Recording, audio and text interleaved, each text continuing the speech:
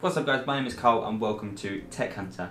Today I'm doing something a little bit boring, some of you might find. I'm cleaning my PC.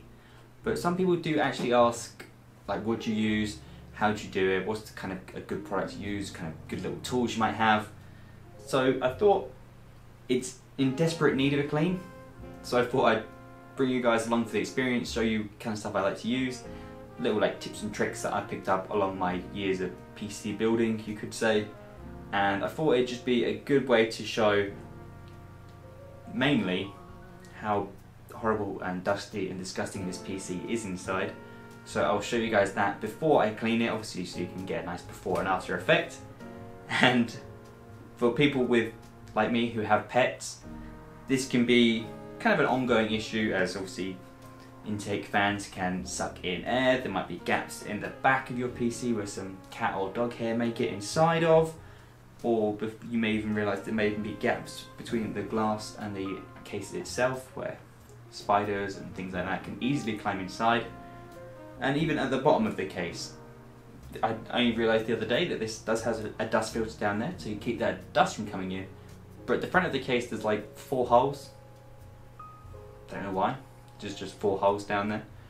So uh, that's an easy way for a lot of dust to get in. And then I looked in looked into these holes and the cables were just covered in dust. So obviously they're causing some issues with the cleanliness of my PC. So I'm gonna power it down, obviously unplug it, and then we're gonna look at getting inside it. I've got a few things I'd like to recommend for cleaning. Some microfiber cloths always a good one. Uh, some window and glass cleaner obvious reasons. Also works quite well on the kind of exterior of the case as well.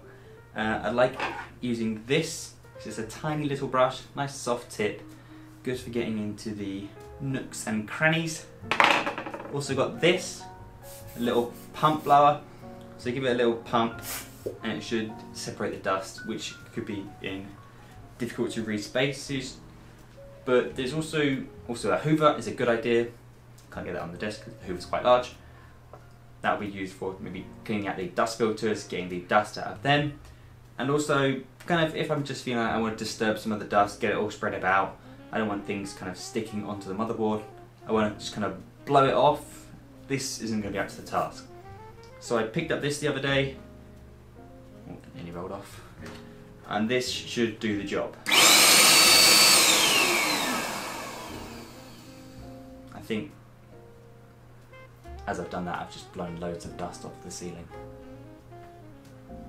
This should do the job just nicely. Right, so first things first, I'll show you guys what's going on in here, all the dust, the cobwebs and the horrible things like that, and then we'll look at cleaning this thing up. Right, so this is the current state of play inside my case. This is gonna anger a lot of people, I'm sure, but I spend more time with other PCs than I do my own at the moment, building and messing around with them than I do my own PC. So when I'm on my PC, it's usually just video editing and maybe some gaming. So it does kind of get left behind and as you can see along the top and there we go. You can just about see that very thin spider web which seems to go across the whole of my case and then it kind of spreads its way out and goes across the majority of this thing. Obviously the dust is real, the buildup is there. It's super obvious on the GPU and on the SSDs as well, as well as the NZXT Hue Plus lighting thing. It's really obvious. And there's a few more anomalies. I know the dust filters are in desperate need of some cleaning. These pipes from the AIO are in desperate need of some dusting and I also want to get some cable combs because I did have some but I removed them when I stole these cables for another build and I've not got around to putting them back on. Maybe I'll be able to achieve that this time around also I've got a was it two 8 pins there? And the one of the six the other 8 pins is stuffed down below because I went from a 980 Ti with two 8 pins to a 1070 with one 8 pin. I know the upgrade is minor very, very minor, but it's more the fact that I bought this card for a build and thought I might as well use it in my own system. So we need to sort that cable out and mainly the dust buildup and cobwebs. So let's take a look and see what we can work out. Right, so first things first, because I'm a bit of an idiot, I want to try this. I could obviously give it a nice dusting first with a cloth and then do this, just to get that initial layer, but I want to know what this thing can do. So let's find out.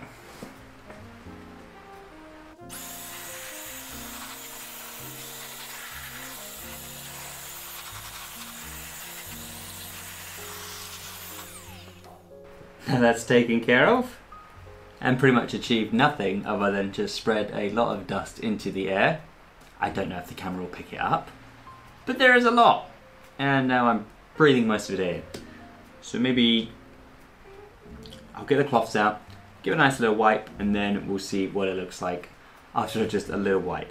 Obviously, the glass I took off a minute ago doesn't actually look too bad. The spiders are actually on here, weren't actually on the glass, so that's a bit of a bonus.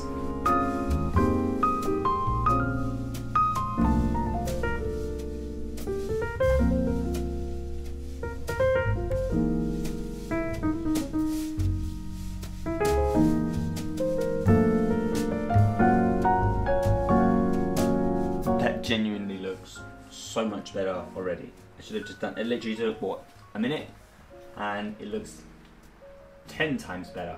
I still need to sort this out so I'm gonna have to open up the back and you guys will get to see what my cable management is like. I'm pretty sure it was awful. I can't remember, but you're about to find out. Obviously you need to check out these dust filters on the front and at the bottom still. It doesn't look as bad as I thought. I'm, I'm not totally ashamed. So as you can see, my cable management isn't terrible. It could be better, but I feel like it's adequate considering we've got quite a lot of stuff in here. Obviously, ignore them. It's meant to be like that. But I think, I think, uh, I think the blower is needed again. There's a lot of dust down the bottom here. I feel like the blower is the is the one for the job here.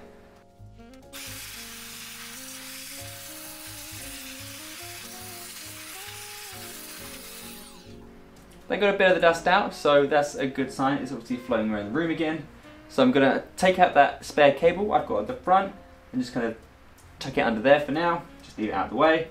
And then I'm gonna move around to the front and I'm gonna go over with the little brush I've got just to go over any kind of small bits that I can't, didn't quite get to and take on the top of like the RAM, the RAM slots on where the kind of like right at the top where I can't really get my hand into. The brush would be a good tool for that. Just to get those bits of dust off which I can't see from what me to see right now. And then I think, what else do I need to do? I think a bit of glass cleaner on the top and the outside and then those dust filters.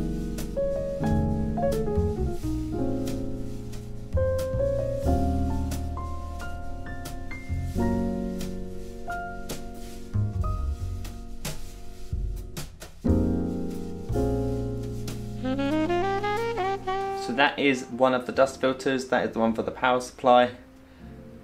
As you can see, it looks a little bit manky, so we need to get the hoover on this bad boy and get that dust out of here. So as you can see, there is still quite a lot of dust buildup, even though we do have that filter on there. You can see it's actually made its way through the filter and onto the power supply itself. That is generally as a result of the filter being clogged up. So it's just kind of making his way through. And I, I was saying earlier about just having random holes in the bottom of your case. There's cables there, but that one is actually just covered in dust under there.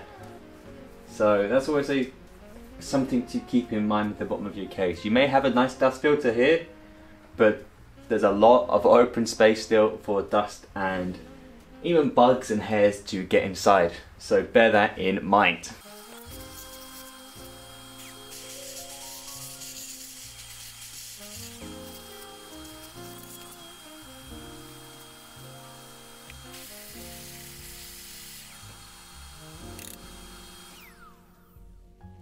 So if you compare that to how it looked about three or four minutes ago, I'd say that will make a definite improvement. You don't want clogged up dust filters.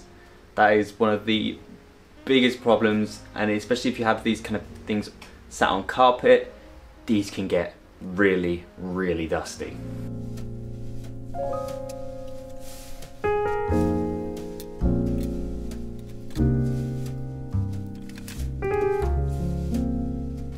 One is a lot less clogged up. There's no big kind of clumps on it like the power supply one had, though there is dust there and it does need a bit of a clean. The main part that needs to clean is the radiator. As you can see, a little bit of dust build up in that. Obviously, the dust kind of, as it clogs up and builds up, can generally kind of increase the temperatures you're likely to see as it kind of keeps it a bit warmer. It kind of works as like an insulator, keeping the heat in, which is something we don't want. So we need to kind of blow, suck, whatever the method I actually end up going with, probably both, just to get the dust out of that and get this thing running that little bit better. I think that a little bit more quieter because that's the thing that's been bothering me most about this whole thing lately.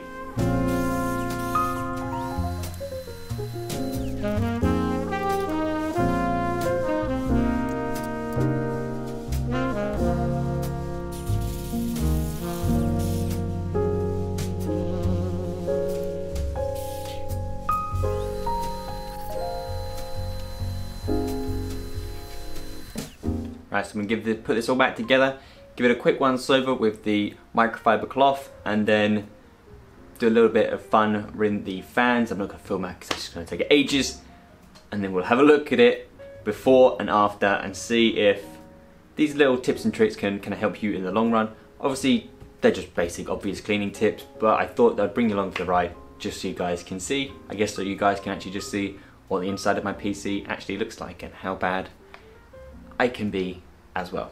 So I found a couple cable combs. Obviously it doesn't look great right now because there's about a thousand on there, but that's just to kind of get that cable back into some shape because it lost a lot of shape. It's so twisted where I just twisted it up, pushed it out of the way and just forgot about it. As a result it looks a bit naff now, but hopefully we can retrain it and get it back into some sort of respectable shape.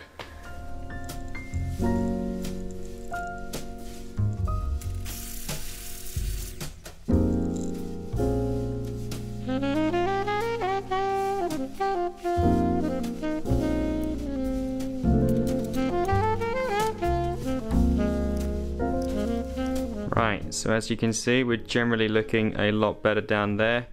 A lot less dust build up than what was previously there. Obviously there's a few bits floating around which are going to cause me some issues for a while. And then we've managed to do the fans as well. They look spotless now. There's no horrible marks on the top of the GPU. I managed to find a cable comb for my 24 pin and I'm trying to train that 8 pin back into shape. I also did replace my thermal paste on my uh, CPU there. I thought it was definitely worth doing. It's not been done for a couple years, so always a good idea to do that if you're inside and you think it's not been done for a while. The dust filters are obviously a lot cleaner now. So let's turn it on and then come back to my general conclusion. Right, so I've had AIDA64 running for about 10 minutes or so. How long has it been? Yeah, 10 minutes.